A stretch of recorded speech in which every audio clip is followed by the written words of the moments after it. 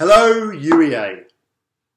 I believe that poor communication and poor marketing is like going into a Michelin starred restaurant where the floor is covered in sewage and it stinks. No matter how good your idea, product, or service is, you need to communicate effectively to get it heard about and your message acted upon. My name is Marcus Hemsley, and I've dedicated my life to the study of effective communication so that I can help organisations that I believe in make a bigger impact in the world. Two weeks ago, Finbar called me up and he asked me to come in and speak to you guys about communication. And unfortunately, it clashes with a training course that I'm running in London. So instead, he's asked me to put together this video where I talk about my three biggest tips in communication.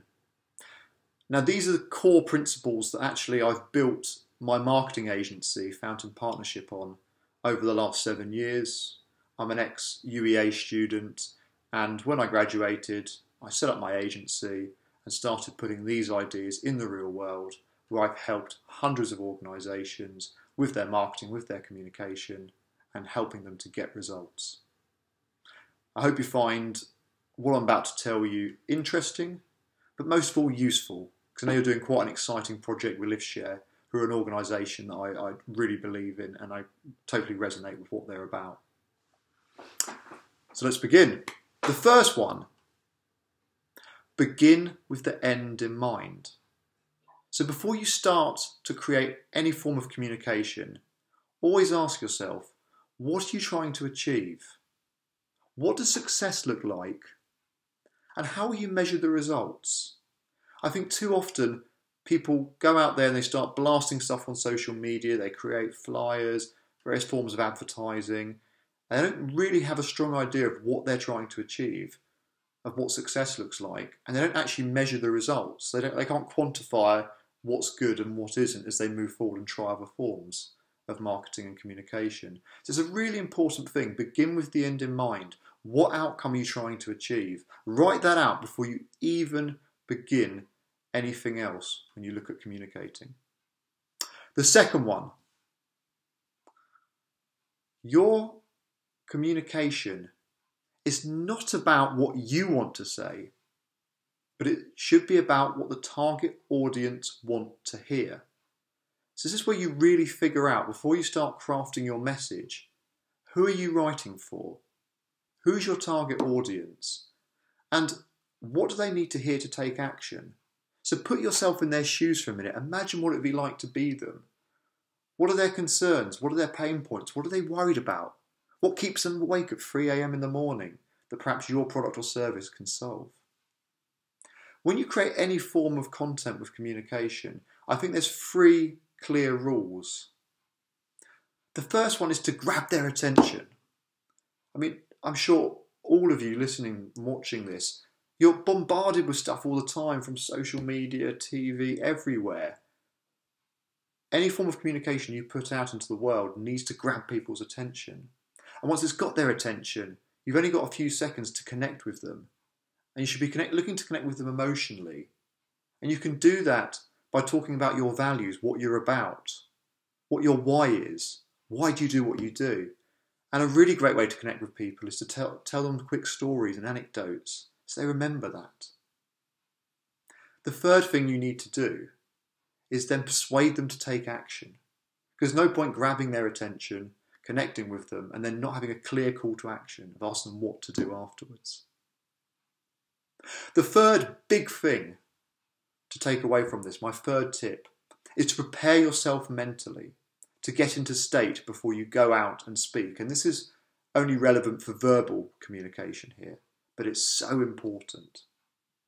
Pele was arguably one of the greatest footballers of all time. And he, years later, he shared his success with us, or his secrets to success, rather. What he would do before every game is he would lock himself away in a dark room and he would take about half an hour to get himself into state before the game. So, what he would start off by doing is he would remember playing football as a child and the joy that comes up with it. So he would visualize being back on the beaches of Brazil, smelling the fresh sea air, feeling the sand in between his toes, and feel the joy that comes with playing football as a child. He would then start member- remembering and replaying all of his successes up to that point to some of his greatest moments as an athlete and really reliving what it's like to feel successful. He would then finally visualize the game ahead of him playing spectacularly and visualizing the final whistle when it got blown and him having scored goals and won the game. So I would encourage you before you go into any big presentation or pitch, just to take some time to think about your past and remember moments when you were having a great day, conversations were going really well, people were laughing, they found you funny, interesting, whatever it is. Go back to some of your best moments when you've communicated with people, when you've connected with them, and just remember how that feels. Get the feeling inside of you, and then visualize your upcoming pitch, presentation, whatever communication or important meeting needs to be. Visualize that going so well. I know it sounds like a bit of hassle, and do I really need to do this? But trust me, I've tested it and in the people I train in public speaking, it works every time. I'm going to give you one final thing. Last month, Finbar and I went to a training course. It was to prepare people to give TED Talks. So it was TED Talk training. And the trainer gave us an exercise which I've tested out and is very powerful. It's called Create Yourself and Create Your Audience and I would highly recommend giving that a go. So I'm going to pass the baton over to Finbar now, and if he wants, he can show you the exercise. But in summary, the three tips, three big tips, begin with the end in mind. What's your objective?